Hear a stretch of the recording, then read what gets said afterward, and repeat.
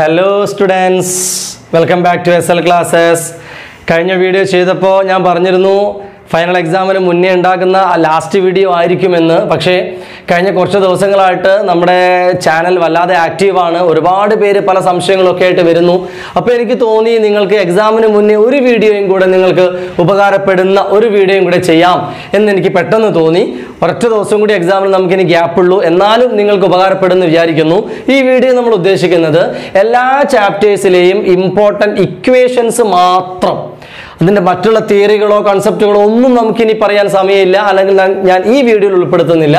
പകരം ഓരോ ചാപ്റ്ററിലെയും ഏറ്റവും ഇമ്പോർട്ടന്റ് ആയിട്ടുള്ള ഇക്വേഷൻസ് ഓക്കെ ചെറിയ ചെറിയ ചില ഇക്വേഷൻസ് ഒക്കെ ചിലപ്പോൾ വിട്ട് കളഞ്ഞിട്ടുണ്ടാവും ഇമ്പോർട്ടന്റ് ഇക്വേഷൻസ് ആണ് പറയുന്നത്. അപ്പോൾ ഇക്വേഷൻസ് ഞാൻ ഇവിടെ ഇങ്ങനെ എഴുതിയിട്ടുണ്ട്. അത് ഓരോന്നും എന്താണ്? നിങ്ങളൊന്ന് ഓർത്ത് നോക്കുക ആദ്യം ഇത് കാണുമ്പോൾ തന്നെ. ഓക്കെ ദെൻ അതിന്റെ കൂടെ ഓരോന്നും എന്തിന്റെ ഇക്വേഷൻ ആയിരുന്നു എന്നും കൂടെ ഞാനൊന്ന് അങ്ങനെ പറഞ്ഞു പോകുന്നുണ്ട്. നിങ്ങൾ ശ്രദ്ധിച്ചോളൂ. റെഡിയാണല്ലോ എക്സാമിന് വളരെ നല്ല മാർക്ക് നല്ല സ്കോർ നമുക്ക് കിട്ടണം. ഇപ്പോൾ കഴിഞ്ഞ കാര്യങ്ങളൊക്കെ മറന്നു പോകും കൂടുതലും ഇക്വേഷൻസ് ആണ് മറന്നു പോകാൻ ചാൻസ് ഉള്ളത്. അതുകൊണ്ടാണ് ഞാൻ ഇക്വേഷന് വേണ്ടി ഇങ്ങനെ ഒരു വീഡിയോ ചെയ്യുന്നത്. ഓക്കെ നമ്മുടെ സെക്കൻഡ് ഇയറിന്റെ ക്ലാസ്സുകൾ ജൂൺ ഫസ്റ്റ് ആരംഭിക്കുകയാണ്. കുറേ പേര് ജോയിൻ ചെയ്തിട്ടുണ്ട്. പെട്ടെന്ന് ജോയിൻ ചെയ്യാൻ ഇനിയും താല്പര്യമുള്ളവരുണ്ടെങ്കിൽ പെട്ടെന്ന് ജോയിൻ ചെയ്യണം.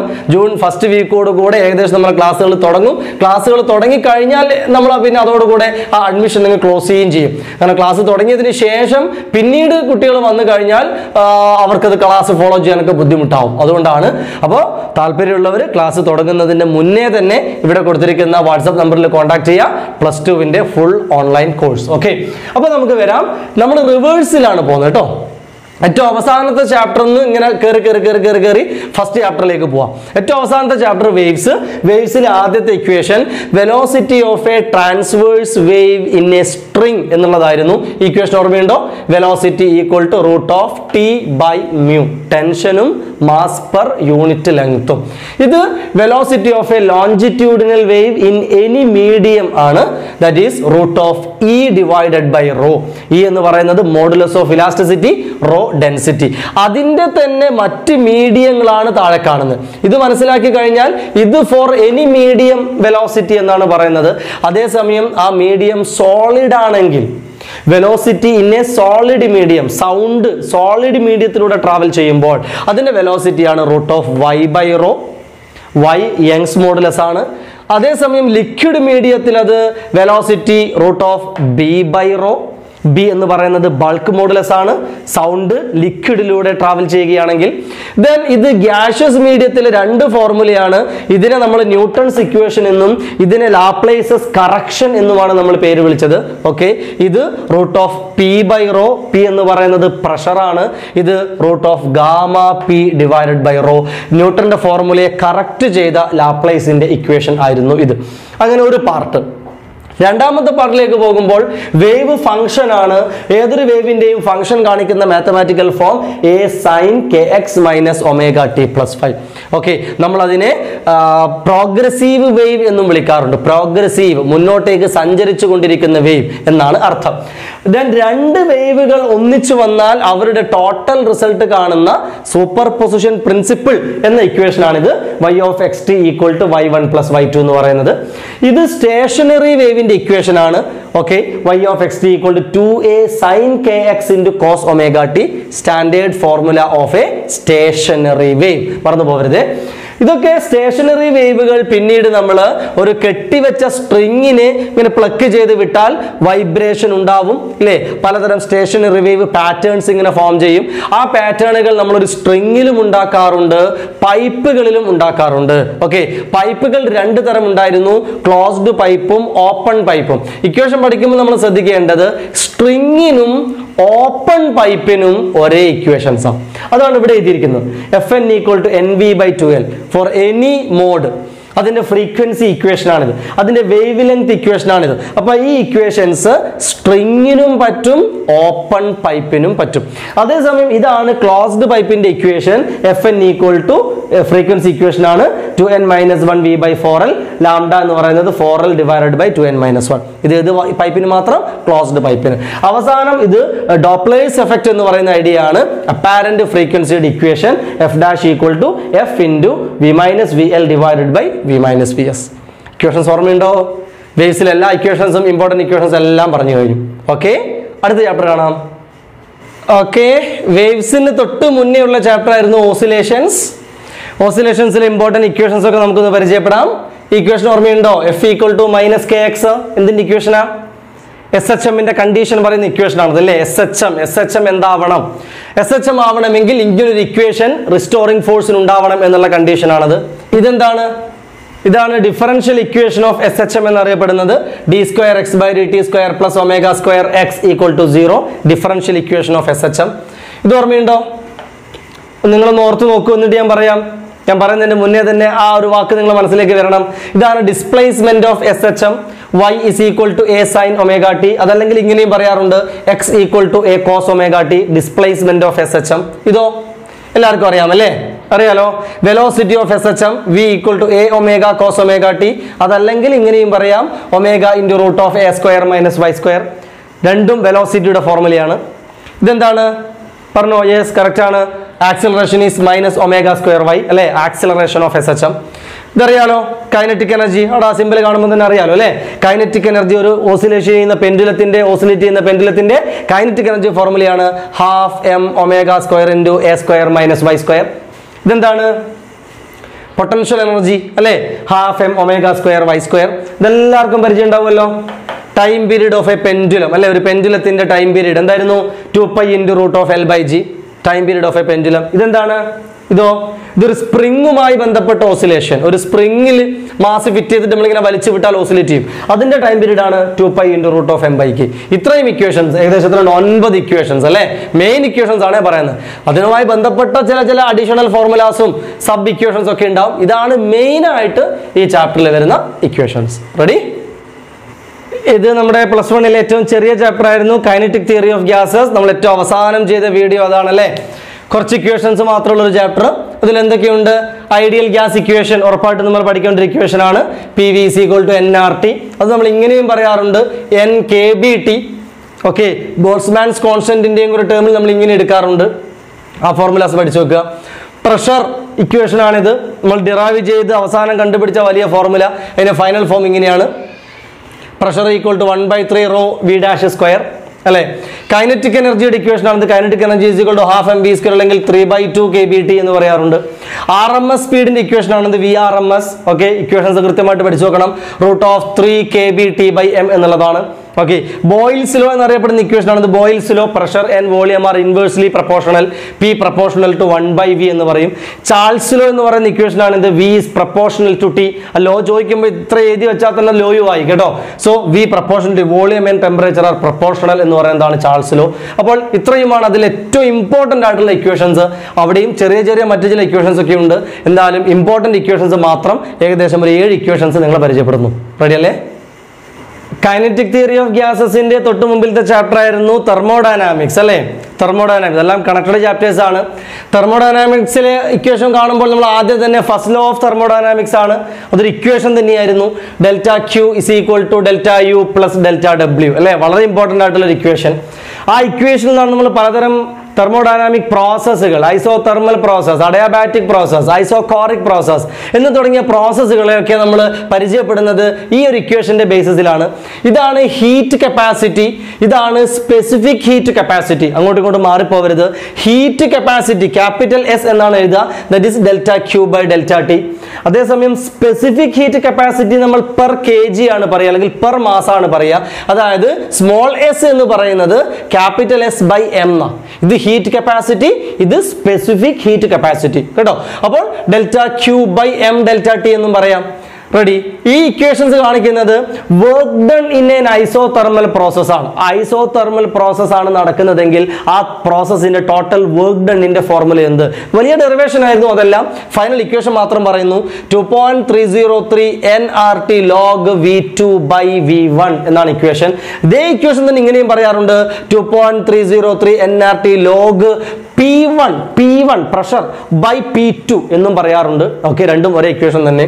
ഇത് അഡയാബാറ്റിക് പ്രോസസ്സിന്റെ വർക്ക് ഡൺ ഇക്വേഷൻ ആണ് work done in an adiabatic process that is W is equal to one divided by gamma minus one into P one V one minus P two V two എന്നാണ് equation ഇതിനെ തന്നെ നമുക്ക് P one V one minus P two V ടുവിന്റെ സ്ഥാനത്ത് T one minus T two എന്നും കാണാറുണ്ട് equation രണ്ടും ശരിയാണ്. ഓക്കെ ദെൻ ഇത് ഒരു ഹീറ്റ് എഞ്ചിന്റെ എഫിഷ്യൻസിയുടെ ഫോർമുലയാണ് efficiency of a heat engine Q one minus Q two divided by Q one എന്നുള്ളതായിരുന്നു efficiency of a heat engine ഇത് ഒരു റെഫ്രിജറേറ്ററിന്റെ കോയഫിഷ്യന്റ് ഓഫ് പെർഫോമൻസ് എന്നാണ് പറയുക.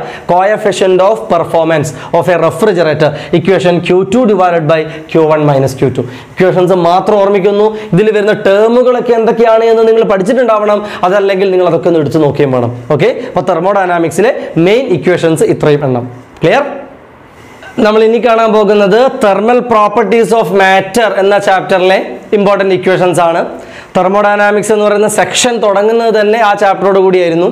അപ്പോൾ അതിൽ ആദ്യം വരുന്ന ഒരു ഐഡിയ ഡിഫറെന്റ് ടെമ്പറേച്ചർ സ്കെയിലുകളെ ഫാരൻ ഹീറ്റ് ഡിഗ്രി സെൽഷ്യസ് എന്നുള്ള ഡിഫറെന്റ് സ്കെയിലുകളെ പരസ്പരം കണക്ട് ചെയ്യുന്ന അല്ലെങ്കിൽ ആ ടെമ്പറേച്ചറിനെ ഡിഗ്രി സെൽഷ്യസിൽ നിന്ന് ഫാരൻ ഹീറ്റിലേക്കും മറ്റുമൊക്കെ മാറ്റുന്ന ഒരു ഇക്വേഷൻ ഉണ്ട്. അതാണ് ഈ കാണുന്നത്. T F minus thirty two divide by one eighty is equal to T C divide by hundred എന്ന് പറയും.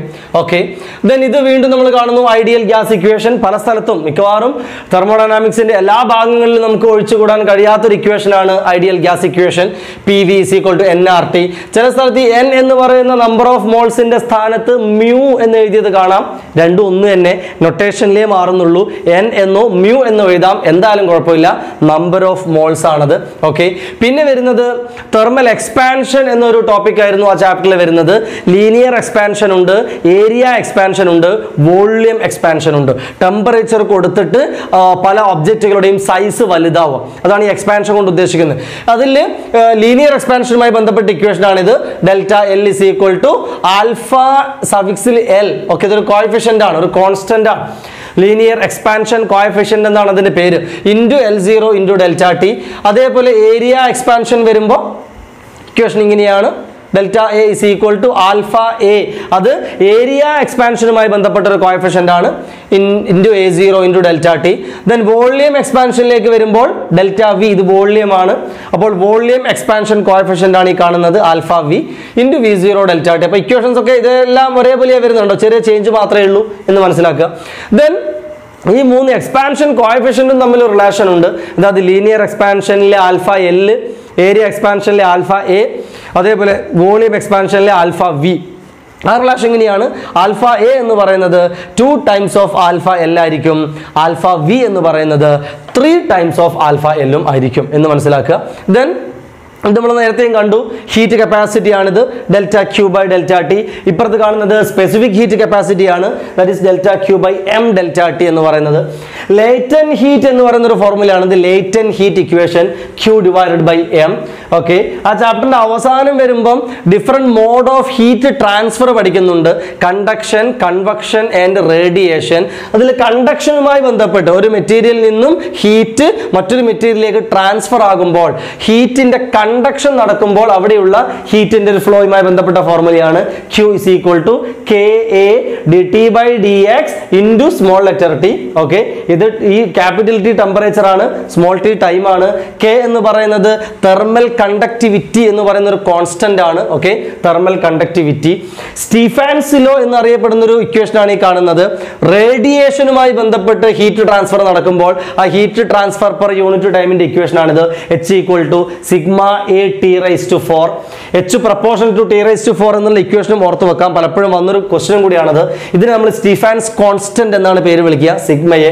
ഓക്കെ ഇതാണ് വളരെ ഫേമസ് ആയിട്ടുള്ള ന്യൂട്ടൺസ് ലോ ഓഫ് കൂളിംഗ് എന്ന് പറയുന്ന equation minus D Q by D T proportional to T two minus T one എന്ന equation okay അപ്പോൾ thermal properties of matter എന്ന ചാപ്റ്ററിലെ ഏറ്റവും ഇമ്പോർട്ടന്റ് ആയിട്ടുള്ള കുറച്ച് ഇക്വേഷൻസ് ഏകദേശം പന്ത്രണ്ട് ഇക്വേഷൻസ് നമുക്ക് ഏറ്റവും ഇമ്പോർട്ടന്റ് എന്ന് പറയാം. അവിടെയും ചെറിയ ചെറിയ ചില കണക്റ്റഡ് ഇക്വേഷൻസ് ഇതിന്റെ കൂടെ ചേർന്ന് വരുന്നുണ്ട്.